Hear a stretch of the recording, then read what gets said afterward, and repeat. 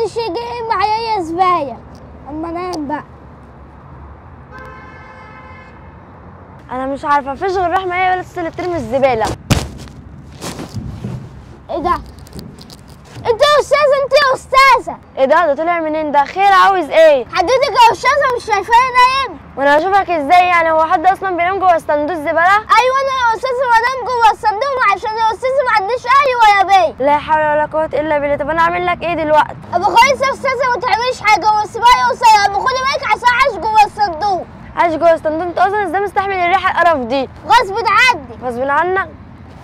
مش عارفة. دايما كده رحمة مأخرانا. بقالها ساعة بترمي الزبالة؟ إيه يا حبيبة؟ إيه يا أستاذة رحمة بقالك ساعة بترمي الزبالة؟ آه يا حبيبة كمان اتخانقت خناقة كبيرة. اتخانقت خناقة كبيرة مع مين؟ مع ولد كده يا حبيبة نايم في صندوق الزبالة. ولد ونايم في صندوق الزبالة؟ ده إزاي يعني يا رحمة؟ زي ما بقول لك كده يا بنتي جيت اتكلم معاه راح أجيب له أنا مش لاقية بيت ولا أهل. قمت سايباه وماشية. طيب يا رحمة أحسن. بس يلا نطلع دلوقتي عشان بابا عمال يزعق فوق. طيب يلا بسرعة يا حبيبي بابا لو سمحت ممكن أسألك سؤال؟ اتفضلي يا حبيبتي. هو في ناس بتنام في صندوق الزبالة؟ والله يا حبيبة بنتي في الزمن اللي إحنا فيه ده تتوقع أي حاجة. بيناموا في صندوق الزبالة بيناموا تحت العربيات بيناموا تحت الكباري. الناس دي بيبقى عيني ملهاش أهل ولا لها بيوت بتبقى ظروفهم صعبة يعني. طب والحالات اللي زي كده أما نشوفها هنعمل معاها إيه؟ والله يا حبيبة بنتي اللي نقدر نعمله نعمله. مثلا لو عندنا أكل متفضل مننا بدل ما نرميه في الزبالة نروح نديهولهم آه عندك لبس قديم كده كده بيصغر عليكي برضو تاخديه تديهولهم تغسليه وتكويه كده وتروقي عليه وتديهولهم حاجات زي كده هنقدر نساعدهم اللي نقدر نساعد بيه. تمام يا بابا فهمت قصدك. يلا بقى عشان ما نتأخرش على مشوارنا. يلا. يا ابني اكلمني بقى بأي حد يديني فلوس عشان أجيب فطار يا رب بابا ما حدش يشوفني. البت حبيبة ماشية عمالة بتتلفت ليه كده؟ أكيد في حاجة في مصيبة هتعملها. ما أروح أشوف في إيه؟ ابني يزوني بقى بأي حد عشان جعان قوي. يديني أكل. سلام عليكم. عليكم السلام. بقول لك إيه يا عسل؟ إيه؟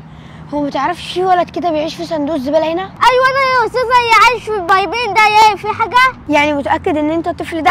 أيوه يا أستاذة. طيب بصي يا عسل الشنطة ديت فيها اكل ليك. امسك كده. الأكل ده كله خلي بالك والشنطه دي فيها جاكيت حلو على قدك كده يا وهدوم حبيبة. ماشي يا استاذه جايبه ياكل آه إيه يا بابا؟ يا بابا؟ أنت بتعملي إيه؟ وماشيه عمالة تتلفتي ليه حوالين نفسك كده وأنت ماشيه مش بعمل حاجة. إزاي مش بعمل حاجة؟ وايه الشنط دي فيها إيه؟ كنت يا بابا بساعد الطفل ده بحاول أساعده في أي طريقة. فكان عندي هدوم قديمة بتاعت أخويا وجبت له الأكل ده عشان ياكله بدل ما هو قاعد كده من غير ولا أكل ولا شرب ولا هدوم. طب يا بنتي بتعملي عمل خير؟ ليه ماشيه عماله تتلفتي خايفة من إيه يعني؟ ما كنتش عايزة أي حد يشوفني وكمان كنت خايفة من ماما. يا بنتي طول ما أنت بتعملي خير ما تخافيش من أي مخلوق خلقه ربنا. حاضر يا بابا. بعد اذنك بصي يا عم عشان عايزة انت افطر وداي خد يا حبيبي تفطر فين وتنام فين؟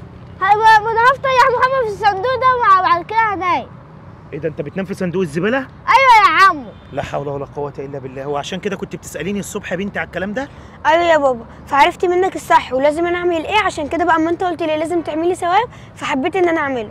حبيبي طب بقول لك يا حبيبي؟ إيه إحنا؟ كده كده عندنا أوضة تحت السلم اللي إحنا حاطين فيها الكراكيب. روقها له ويعيش فيها يا بنتي أحسن من النوم هنا يا بنتي. ده يجي له جميع الأمراض هنا.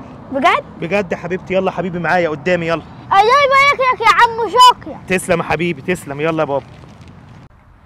هنعمل إيه؟ يا رحمة مع حبها عشان ما تمشيش معانا تاني. مش عارفة والله يا ليلى. أنا بصراحة كده ما بقتش أحبها اللي هي تمشي معانا. الناس كلها بتفضل تبص لنا بصات غريبة قوي. وأنا كمان مبقتش عايزة أصلا تمشي معانا تاني ولا تقعد معانا. طب بصي يا رحمة أنا عندي فكرة حلوة قوي. إيه هي يا ليلى؟ بما إنك أنت يا رحمة لابسة جلابية سودا وأنا معايا روج أحمر أهو نعمل فيها مقلب حلو قوي وما نخليهاش تمشي معانا تاني. إيه هو بقى المقلب يا ليلى؟ بصي يا رحمة أنت هتكوني قاعدة عادي مكانك وأنا هروح أجيبها من المكان اللي هي بتقف لنا فيه على طول. آه وبعد كده أنا هحط لك من الروج الاحمر ده في وشك واول ما أجي داخله عليكي اكني ما أعرفش اي حاجة خالص. تروحي انت جاري عليها واكنك عايزة تعضيها. آه أنا فهمت قصدك يا ليلى هعمل أنا الساحرة الشريرة؟ أيوه بالظبط كده يا رحمة. أنا بقى لغوص لك وشك بالاحمر ده عشان هي تخاف منك. واول بقى ما انت طبعا تجري وراها واكنك هتعضها هي هتخاف ومش تمشي معانا تاني. اهو يا رحمة كده أصلا انت شكلك يخوف دلوقتي. روحي بقى يا رحمة اقعدي على المكان اللي إحنا بنقعد فيه. ماشي يا بس ما تتأخروش. ماشي يا رحمة. bye. bye. يعني انت متأكدة يا ليلى ان إحنا لو رنينا على رحمة وقلنا لها يلا يا رحمة تعالي هتيجي؟ أيوه طبعا هتيجي هي مستنيانا أصلا. بس أكيد هتتأخر. لا ما تقلقيش. يا حبيبة يا ليلى. إيه يا عم هاني إيه رايحين فين كده؟ إحنا رايحين نقعد في الجنينة شوية ورحمة مستنيانا. رحمة مستنياكوا طب ما جاتش ليه معاكوا يعني؟ مش فاهم برضه. ما هو يا عم إحنا لسه هنروح نقعد وبعد كده نرن عليها نخليها تيجي. طب يا بنتي ما لقيتوش إلا الجنينة دي يعني وتقعدوا فيها؟ أنا بخاف قوي من الجنينة دي. إذا كان الا راجل وماشي مرعوب فيها مش حال أنتوا بقى تقعدوا فيها إزاي؟ ما تقلقش يا عم هاني بعدين يا بابا ما فيهاش حاجة دي جنينة عادية زي باقي الجناين. فيهاش حاجة إيه؟ مش شايفة الجبال وشايفة الحتت الفاضية دي؟ الواحد برضه يخاف برضه عليكم. المهم خلوا بالكم من نفسيكم. ولو. في حاجة رن عليا. حاضر. ماشي؟ ماشي. مش هنبه عليكي تاني خلي بالكم من نفسيكم. حاضر يا عم هاني بقى. حاضر. مش شايفة يا ليلى إن بابا عنده حق في كل كلامه إن إحنا ما ينفعش نقعد لوحدنا في الجنينه دي؟ لا عادي يا حبا الجنينه دي حلوة ورايقة قوي. ماشي يا يلا بقى عشان متاخرش على رحمة. اقعدي يا حبيبي رني بقى على رحمة على طول. ماشي هرن عليها. ولا ما تتاخرش عشان هي بالها طول قوي من ما تيجي. ماشي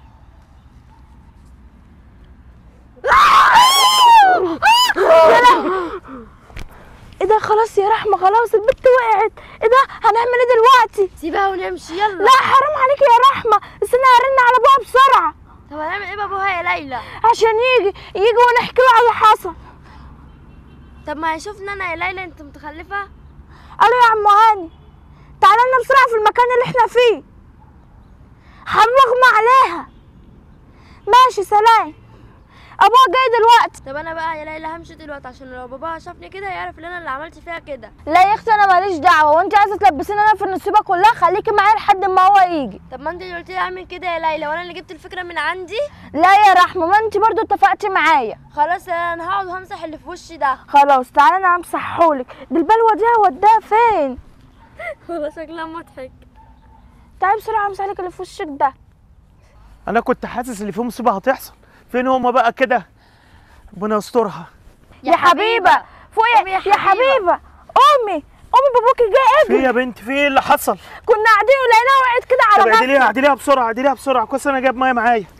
حبيبة يا حبيبة. حبيبة. فوق يا حبيبتي. فوق يا بابا. فوق يا حبيبة. مالك يا حبيبة؟ في إيه يا إيه؟ بنت في إيه؟ إيه اللي حصل؟ في واحدة عدتني. واحدة عدتك؟ عدتك؟ ما حدش إيه يا جه؟ جنبك يا حبيبة. لا يا ليلى انت كمان اتخضيتي معايا. أما واحدة جت من ورايا كده وفضلت تصوت كده وتصرخ وعدتني ده؟ اتخضيت؟ وإيه اللي في وشك ده يا رحمة؟ وانت حتى رز يا عم هاني وسايح. صح إزاي يعني؟ وإيه السهمين دول؟ انت شكلكم كنتوا بتلعبوا لعبة سخيفة زيكم كده وخضتوها صح؟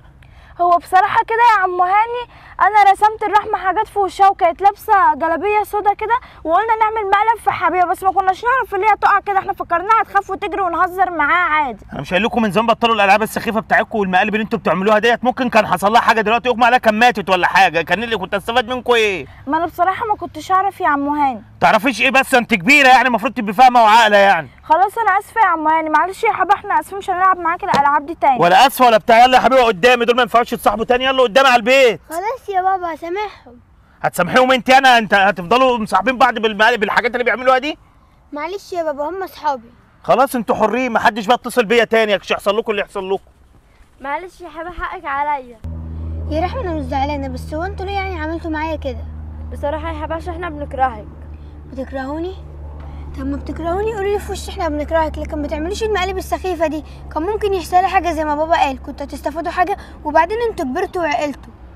خلاص يا حبيبة حصل خير. إحنا قلنا لك اللي إحنا بنكرهك واعترفنا لك بالحقيقة.